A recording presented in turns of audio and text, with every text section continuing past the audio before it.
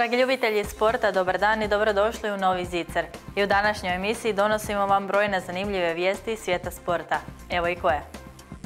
Treći uzastopni poraz Zaprižičkog Intera u drugoj HNL. Na domaćem terenu sladao ih Osijek 2. Treća HNL središte, pobjede Bistre i Krapinskog Zagorca.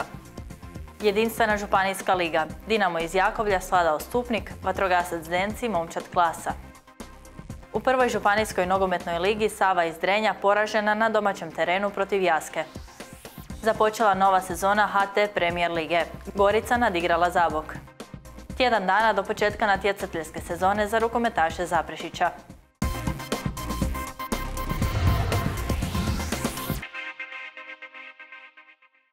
U sedmom kolu druge Hrvatske nogometne lige Inter iz Zaprešića na svojem je stadionu ugostio B ekipu Osijeka. Nakon dobrog starta sezone Zaprešićani su upali u crni niz od sada tri uzastopna poraza, a kapetan Tomislav Mazalović i trener Ivković otkrili su nam u čemu točno vide problem u ekipi. Utakmicu u cijelosti možete pogledati na našem programu s početkom u 19 sati, a nakon snimke utakmice donosimo i izjave trenera i igrača. Igrač više gotovo 60 minuta ponovno nije bio dovoljan zaprešičkom nogometnom drugoligašu da postigne pogodak i na svoj konto upiše nova tri boda. Druga momča dosjeka je u 36. minuti zbog drugog čuta kartona Latkovića ostala s igračem manje. Iako su domaćini gotovo cijelo drugo polovrijeme stvarali pritisak na gol gostiju, Mamot nije iskoristio dvije 100% šanse, a dvojbana situacija pred golom Mladena Matkovića donijela je bijeloplavima priliku za vodstvo. Pogodak je s bijele točke u 86. minuti utakmice postigao kapetan gostujuće momčadi Josip Gačić.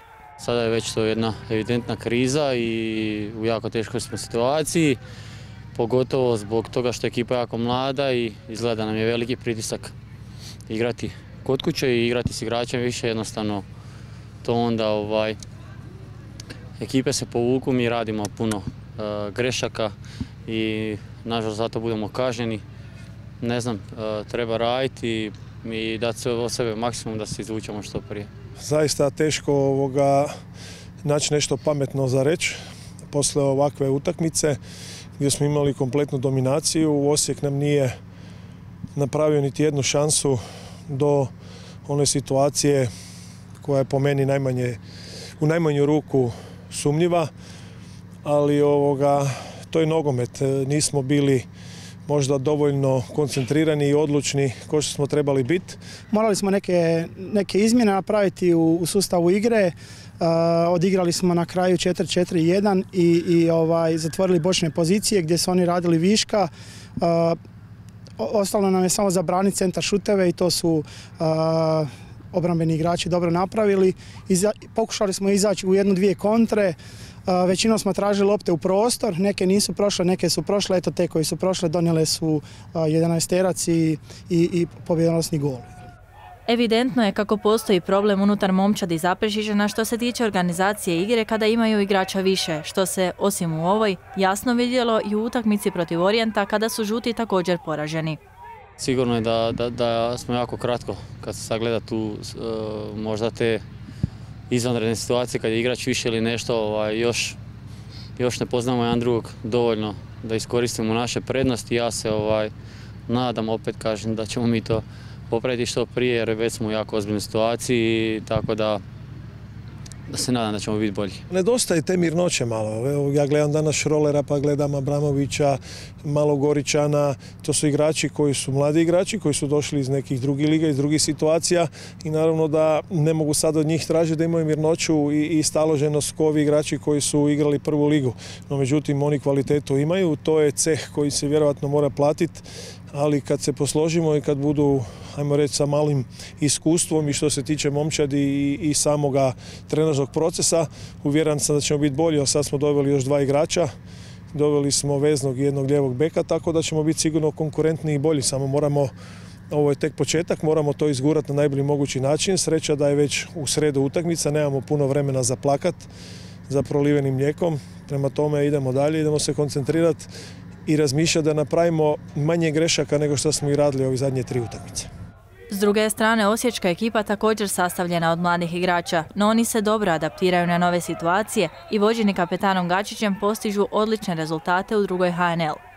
Poprilične su se promjene dogodile unutar Osječkog kluba. Dolaskom Nenada Bjelice s velikim ovlastima na klubu prve momčadi, pobrinulo se da sve pod kontrolom bude i u B ekipi.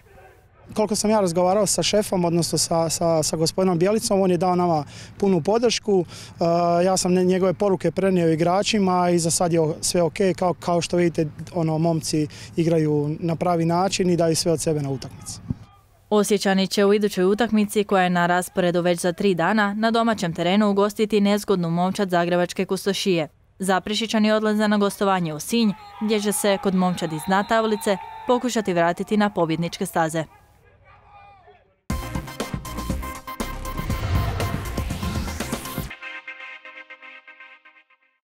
Naše kamere i ovoga su tjedna bile na terenima gdje su se odigravale utakmice treće HNL središte, točnije utakmice Bistre i Mladosti iz Petrinje, te Zagorca iz Krapine i Španskog. U sedmom kolu treće HNL središte momčad Krapinskog Zagorca na domaćem je terenu gostila ekipu Španskog. Već u desetoj minuti susreta domaćini su poveli pogodkom Poljaka, dok su 20 minuta kasnije pogodkom Bajana gosti izjednačili rezultat. Rezultat se nije mijenjao sve do samog kraja utakmice kada je u drugoj minuti sudačke nadoknade dosuđen kazneni udarac u korist Zagorca. Udarac je realizirao i svoje momčadi donio pobjedu Matijas Mrekar.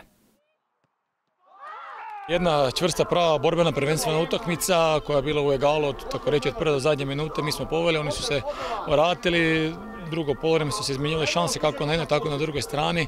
Evo je nakon dugo, dugo vremena konačno malo sreća pomazila u zadnjoj minuti. Mi smo zasluženo pobjedili. Šta reći, nakon ovakvog 93. primiti s penala gol gdje nisu bili skoncentrirani do kraja, nažalost tako ispali zašli na njihovu stranu. Utakmica je bila mogla i na jednu i na jednu i na drugu stranu, na kraju presudilo da tako bude za njih i to je to, nemam šta reći. Malo nas prati te zadnje sekunde, zadnje minute gdje nismo skoncentrirani, ali to je valjda zbog mladosti, zbog tih oscilacija koje se dešavaju u zadnje vrijeme i to je to. Vrh tablice trenutno s ukupno 17 bodova drži nogometni klub Kurilovec Velika Gorica. Momčad Krapinskog Zagorca je deveta s ukupno 9 bodova, a Špansko se nalazi na 15. poziciji i broje 6 bodova. Sad ćemo se dići koje je mjesto gore, tablica vrlo zgusnuta, iako su se neki klubovi malo odvojili sam vrhu tablice. Mi smo u donjem dijelu tablice, krenuli smo sa malo većim ambicijama u prvenstvu, ali stvarno spletom nesretnih okolnosti dogodilo nam se puno ozljeda, ostali smo bez nekoliko igrača, tako evo danas su se vratila dvojica, trojica, još imamo 5-6 van stroja, tako da mi u jednom trenutku smo bili bez 6-7 igrača iz prvih 11, a to je na ovoj razini jako, jako teško pokriti, ali skidam kapu dečkima i vratilo nam se to danas. Liga svak svakog može dobiti, svi su, svi su dobri ili, ili, ili su, svi, svi su jednaki, tako da stvarno što se tiče za, za mladih igrača, Liga je fantastična. I mislim da će do kraja, do kraja zadnjeg kola da će to biti do, do napeto do samog kraja. U idućem kolu Zagorec odlazi na gostovanje u Bistru, dok će i Špansko ponovno u goste, ovoga puta momčadi Gaj Mača.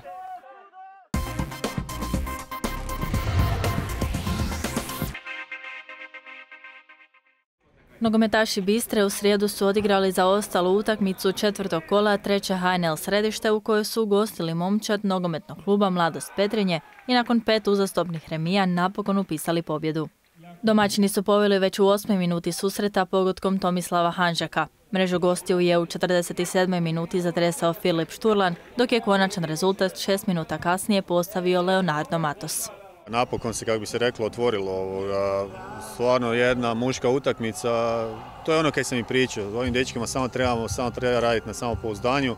Treba im raditi na onom na psihi ovoga. Prvo polovrijeme ušli smo opet u tu crnu rupu 15 minuta, prvih 30 minuta odlično, stvarno odlično, razigrano, kombinatorno, agresivno i onda ta nekakva crna rupa koja koju moramo nekako ovoga, na psihološkom planu vrlo vjerovatno malo poraditi na tome, ali, ali iskreno nemam, nemam pogotovo evo, drugih, drugo polorime, desetak, 15 minuta prvih gdje smo i prelomili utakmicu, velim kapa do poda klincima, mislim klincima, nisu sad, sad svi klinci, većina je, ali kapa do poda dečkima, velim, zaslužili su i treba samo tak nastaviti. Imali ste fenomenalno otvaranje prvog i drugog polovremena i niste, na, što je najbitnije, se povukli u 16 metara nakon rezultata donijela? Ma ne, mislim da ova ekipa, ovoga, ono kako se veli, čak nekad i pretjeruje, pretjeruje nekim svojim kombinatorikama, ovoga, treba ih pustiti.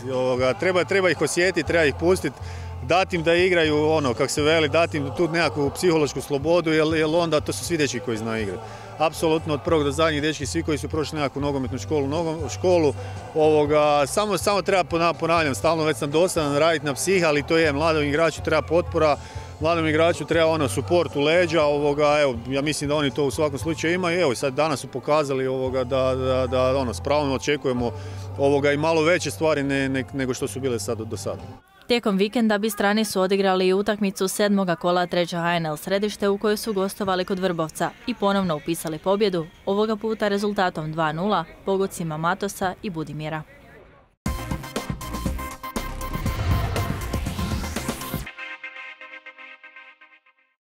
Na kraju nogometnog dijela Zicera dotaknut ćemo se i prve županijske nogometne lige Zapad. Momčad Save iz Drenja na domaćem je terenu ugostila momčad treće plasirane Jaske, koji ih je svladala rezultatom 2-0. U osmom kolu prve županijske nogometne lige Zapad nogometaši Save iz Drenja na domaćem su terenu ugostili momčad Jaske. Domaćini nisu iskoristili prilike koje su imali, dok gosti jesu i nakon 90 minuta igre na svoj konto upisali nova tri boda rezultatom 2-0. Bila je dobra utakmica, nismo iskoristili svoje šanse na početku koje smo imali, oni su svoje iskoristili, nažalost po nas izgubili smo. Treba čestitati dečkima, bili su bolji. Ne znam, kaj bi, kaj bi više rekao. Nikola, kam se ide sada? E, sad idemo u Krašić, teško gostovanje. Uvijek nije baš dobar teren. Ne znamo kaj će nas tamo dočekat, ali trebamo se spremiti sad ovaj tjedan za tu utakmicu, koncentrirati se i poboljšati sve što se da poboljšati. Dobra utakmica, žustra, borbena, prava onak muška utakmica. E, na kraju mi smo pobjedili 2-0, domaćini su isto mogli imali svoje prilike, ali na, na, na našu sreću nisu iskoristili. Na utakmici smo imali priliku porazgovarati i s legendarnim sportskim novinarom Miroslavom Redeom, koji nam je otkrio neke zanimljivosti o trenerima obiju momčadi, ali i rekao zašto voli pratiti niže ligaški nogomet. Sviđaju mi se ove pod navodnicima selske utakmice jer se igra jedan zdrav, pametan, pošten nogomet, a posebno mi je drago da su momčadi vodili nekadašnji suigrač iz Inkera. Znači Miroslav Šorgić je domaću momčad, a Mislav Bradvić je vodio Jasku. Šorgić, moram to reći, Šorgić je tu već dugo i vidi se da je dosta toga napravio. A kad smo kod Šorgića treba znati, pogotovo za mlađe, da je bio igrač momčadi Inkera koja je osvojila kup, ali igrač momčadi koja je napravila neviđeni potvor. Znači u tri dana je Inker 1992. godine pobjedio u subotu Dinamo sa 2-1, a u utorak, tri dana kasnije Hajduka u Splitu sa 2-0. Vrh tablice prve županijske nogometne lige Zapad trenutno sa 24 boda drži momčad Zrinskog. Druga je Bregana s 19 bodova, a samo bod manje ima momčad Jaske. Sava iz Drenja sada je osma i broji 12 bodova.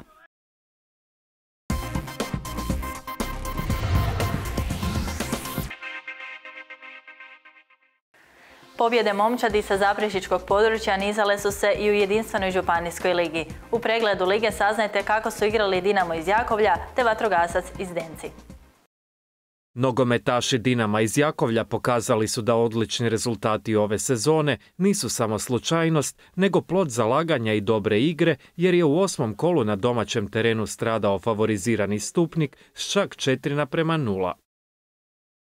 Ne da sam zadovoljan, nego sam prezadovoljan. Znači ovo je utakmica, prva utakmica u ovom prvenstvu da smo odigrali na nivou koju ove djeca mogu igrati. Naravno da to će biti teško ponoviti, ali s obzirom na situaciju u kojoj smo se doveli zadnja dva poraza, u zadnja dva kola, ova tri boda nam znače izuzetno puno. Mislim da u veznoj liniji smo malo podbacili, nekim dugim optama smo htjeli nešto napraviti, danas to nije išlo i eto, dečki su pobjedili zasluženo na kraju, nema se šta reći. U dobrom smo nizu, mislio sam iskreno da, da ćemo nastaviti pozitivan niz. Tu smo, eto, i oni su isto bili tu par bodova iza nas i eto, tako je završilo na kraju. Oni su sretniji bili na kraju i odnijeli bodove. Mislim da smo i dobili na srce. Definitivno znači i na srce i na borbenost. E, golovi su nam ušli zaista pravovremeno i na taj način smo savladali taj stupnik koji je izuzetno, izuzetno kvalitetna momčad za nas. Dinamo je ovom pobjedom preskočio stupnik na trećem mjestu, a trener Brlek nada se da će mu tanka klupa uskoro biti popunjenija, možda već prije sljedećeg gostovanja u Rakovom potoku.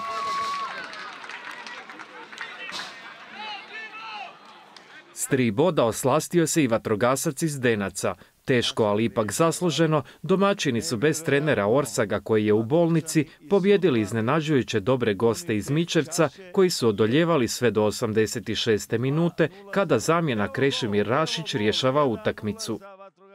Bila je ovo čvrsta utakmica, klas se pokazao kao težak protivnik.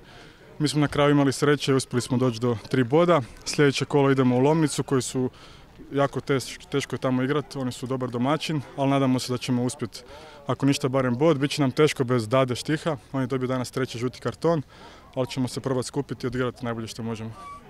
Sretni i spretni su pobjedili i čestitam im na zaslužene pobjedi. Teška utakmica, nervozna, prava ono prvenstvena. Dvije podjednake ekipe, nije tu bilo neke velike igre, više je bila želja, borba i mislim da je to na kraju presudilo. Imali smo veliki imperativ pobjede, pritisak je bio dosta veliki mogu samo čestitati dečkima i, i posvetiti ovu pobjedu treneru Orsagu. U sljedećem kolu desetoplasirani vatrogasac gostuje kod pete lomnice, dok će predzadnji klas imati težak zadatak izvući bodove na domaćem terenu protiv drugoplasiranog topa.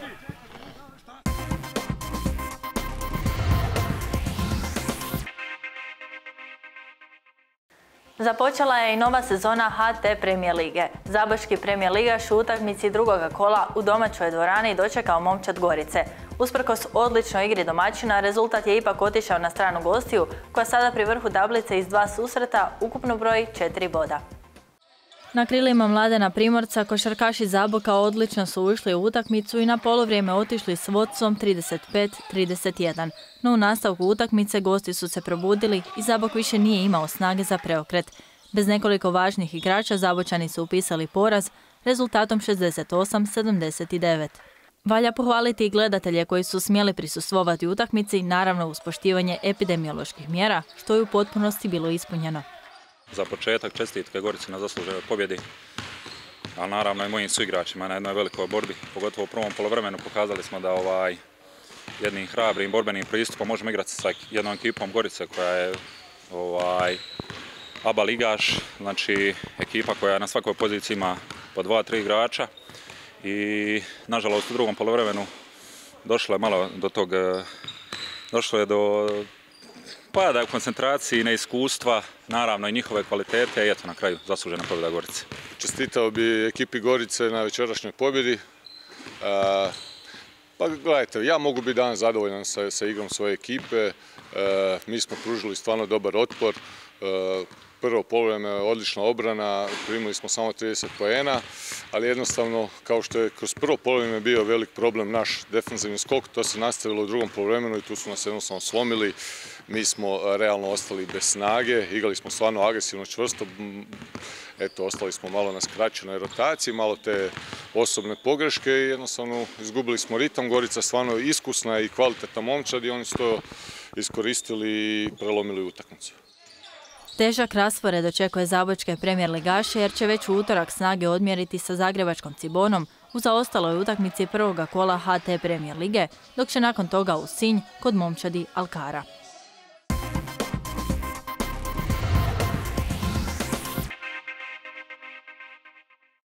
Pred vratima je i nova sezona u trećoj Hrvatskoj rukometnoj ligi središte za rukometaše Zaprešića koji će u prvom kolu snage odmjeriti protiv momčadi Zagrebačkog Dinama. Kako je stanje u Zaprešičkom muškom rukometnom klubu pred sam početak prvenstva, donosimo u prilogu.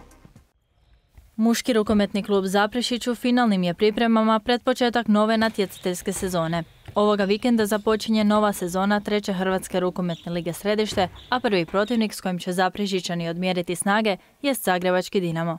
Prošle godine smo igrali s njima, gdje nije bilo obrane, čak mene nije ni bilo na toj utakmici, izgubili smo 45-39, znači gdje je bilo bez jako puno trke, jako puno golova, ove godine uz ova sva naša pojačanja nadam se da ćemo mi biti zdravi, da ćemo moći uspjeti sve poklopiti, da će svi biti slobodni. Ne znamo njihovu ekipu, ali ja se nadam pobjedi na početku sezone na otvaranje, što je jako bitno za ekipu, za duh ekipe. Ciljevi za sezonu koja je pred njima jasno su postavljeni.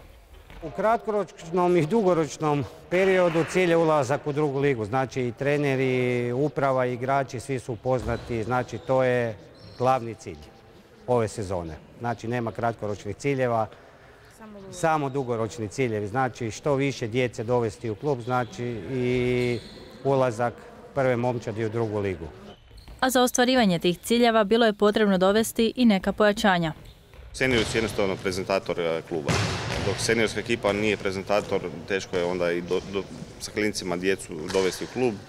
Pa smo ove, sezone znači, odlučili smo mi kao uprava kluba, uh, skupa sa mnom kao trenerom seniorske ekipe, da pokušamo ući u drugu ligu. Znači, naš cilj je ući u drugu ligu. E, znači, suprotno tome, znači, klub se mora pojačati sa nekim igračima, jer naravno, e, trenutno sa domaćim nismo baš pri nekom velikom broju, ima ih tek nekih desetak, što je malo za neki ozbiljan rukomet, e, tako da uz ono što smo imali prošle godine iz e, grada Zagreba i Sesveta, ove godine su nam došla četiri igrača. Jedan igrač je došao iz Maksimir Pastela, Ivan Jurić, znači on je bio tamo cijeli svoj život skoro od, mladih dana, on je bio kapitan tamo, eto na moj nagovor znači da nam pomogne ove sezone i koliko god bude mogao s obzirom na, na, njegove, na njegove godine da nam pomogne u ulasku u drugu ligu. E, drugi, e, ajmo reći, ajmo po važnosti neko govoriti, onda je to Borna Hadrović, znači dijete Zapršića, dijete e, koje je odraslo tu i koji dalje živi, koji je prošao prvoligaške klubove, ne samo u Hrvatskoj nego i u Norveškoj i u Sloveniji. Znači on je povratnik nakon skoro dvije godine neigranja, znači isto smo ga kao klub zamolili za pomoć, znači da održimo drugu, da se pasiramo drugu ligu, da on sa svojim znanjem, sa, pošto još i ljevak, da nam pomogne e, za ulazak. Uh, treće pojačanje je Martino Pehar, uh, dečko iz Zagreba, to je dečko iz Metkovića, studirao u Zagrebu. Isto ljevak, desno krilo, znači mlad je, poletan je, agilan, tako da na našoj desnoj strani do sad E, rijetko smo vidjeli ljevaka, ali najčešće bio dešnjak, eto napokon imamo desnu stranu sa ljevacima. A četvrto pojačanje, ovako nenadano je došlo, e, reprezentativac, e, reprezentativac Hrvatske u Gluhih, Bojan Crnojević, preselio se tu u Pojatno, E, tražio je klub, došao je kod nas i eto uspjeli smo dogovoriti s njim sve da ostane ovdje. Znači lijevo krilo i desno krilo je dešnjak, ali eto idemo ga na oba dvije pozicije. To su neka četiri pojačanja za ovu godinu, plus ovi svi koji su do sada bili u prošle godine u klubu. Muški rukometni klub Zaprešić započeo je i s jednim novim projektom pod nazivom Škola kretanja i rukometa. Škola kretanja i rukometa jedan je novi projekt za najmlađe, odnosno za osnovnoškolce sa područja Zaprešića i okolice kojim želimo uključiti što više djece u sport te da kroz naš klub upoznaju rukomet kao jedan prekrasan sport. Klub je puno poradio i po pitanju medijske prezentacije, pa tako sve aktivnosti vezane u Zaprešićke Sokole možete pratiti na njihovoj web stranici kao i na društvenim mrežama kluba.